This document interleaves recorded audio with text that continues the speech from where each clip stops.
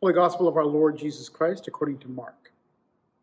John the Baptizer appeared in the wilderness, proclaiming a baptism of repentance for the forgiveness of sins.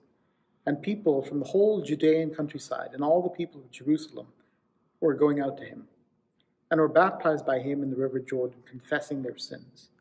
Now John was clothed with camel's hair, with a leather belt around his waist, and he ate locusts and wild honey. He proclaimed, The one who is more powerful than I is coming after me. I am not worthy to stoop down and untie the thong of his sandals. I have baptized you with water, but he will baptize you with the Holy Spirit. In those days, Jesus came from Nazareth of Galilee and was baptized by John in the Jordan. And just as he was coming out, out of the water, he saw the heavens torn apart and the Spirit descending like a dove on him. And a voice came from heaven You are my Son, the Beloved. With you I am well pleased. The Gospel of the Lord.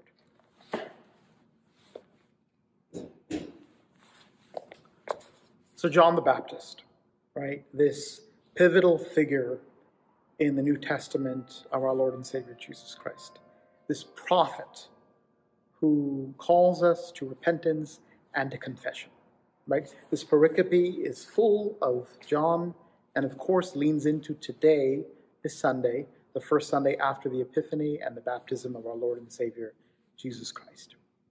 And yet, for us in this wilderness space, for us and John, I want us to imagine and meditate with me for a little bit. Imagine John eating the locusts, the wild honey, the leather belt, the coming in with a, his loin skin in and walking in out of the wilderness, right? And and then the whole people in the Judean countryside and from Jerusalem coming to him, because in those days, of course, uh, there was always a notion of the Messiah, right? And an understanding of a Messiah-like figure, which was common in those days. And of course, this was a movement and an opportunity for people who were not Jewish or another religion to move into a new way of being. Baptism afforded that opportunity. Now, fast forward to us in 2021 in the Episcopal Church in Connecticut.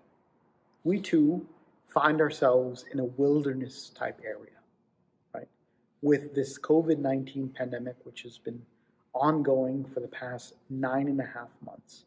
We who are untethered to our own norms in terms of church life, maybe quarantining at home and keeping safe and just measuring time with our families, we too find ourselves in a wilderness space.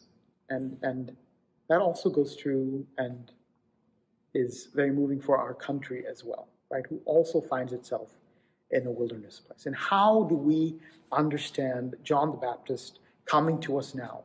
What would he say?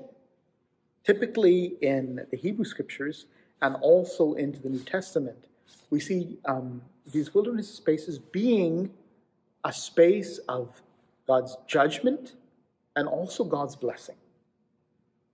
And if we understand that, that liminal space that John was walking into and the whole people in the Judean countryside in Jerusalem coming to visit him, we can also understand that for ourselves, right?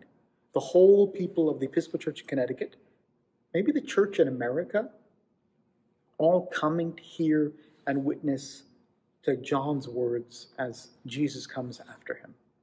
John calling very deliberately for what? For confession and repentance. And that deep connection between confession, repentance, and baptism. This new way of life, this new birthing into a new way of being in Christ can only come with confession and repentance. My friends, what I wanted to share in this season, as we move more deeply into the season of racial reconciliation, healing, um, with respect to white supremacy, anti black bias, and, and racism here in our church and our country, I want us to imagine that we are in this liminal space and we need to repent. We need to confess and to lament of the ways in which we have been tethered as a church and as individuals to a colonial, white supremacist, patriarchal system that we have paid homage to. Right? It's as if we are the three kings paying homage to a system that has been death dealing, not to the God who calls us his beloved. And yet, how can we get to that space and that ministry of Paul who calls us to reconciliation if we do not repent and confess? I dare say, friends, that we are in a place of judgment. For hundreds of years, we have paid homage, we have bowed down to ease. We have paid homage to an understanding of, well, let this pass, or will not lean into the political dispensation of the gospel because that is too hard. We have talked the talk, but we have not walked the walk politically because we're too afraid to think that the gospel might indeed be political. Well, I have news for myself and for all of us. The gospel is indeed political, and it takes our hands and our feet to walk into what John is calling us into. My friends, I um, was invited by our parish minister to think about Palm Sunday and how we need to order palms prefer Palm Sunday. And I think of how we are continually invited in our church season to move on, to move on from Christmas into the new season, not stopping to really render and understand the message that today that John gives us, that we have to confess, we have to lament of these ways in which we have been so tethered. Our church, our institutions here in this country, the original sin of white supremacy that continues to hold us back, continues to hold us as guilty, when in fact we're in being invited into something that is more life giving, into that new life. But what if we do not lament that? What if we do not create space for our communities to move into that life giving work of the Holy Spirit?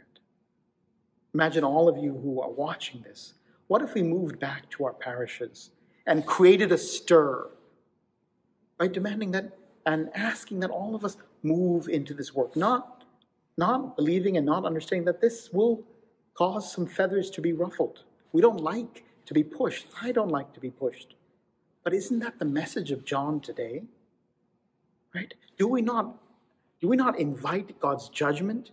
God damning us for continuing to walk the other way, to turn ourselves to the most comfortable and the most pragmatic.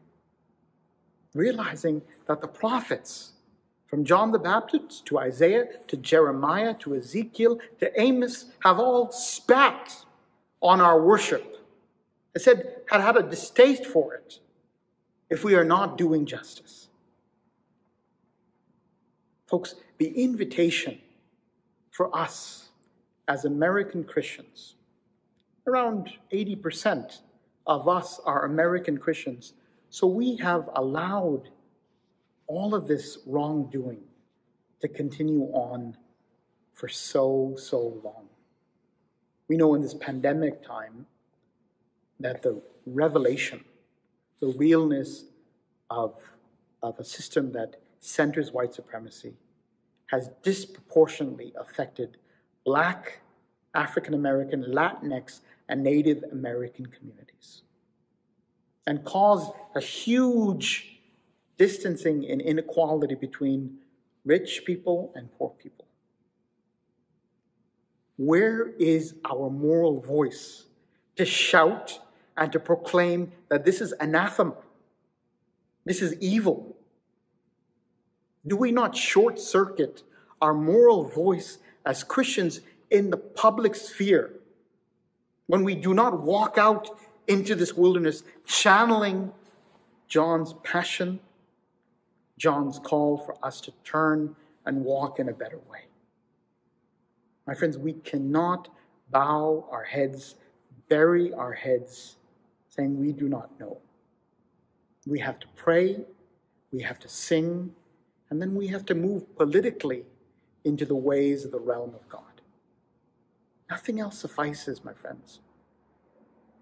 May the Holy Spirit lead us and guide us in this way.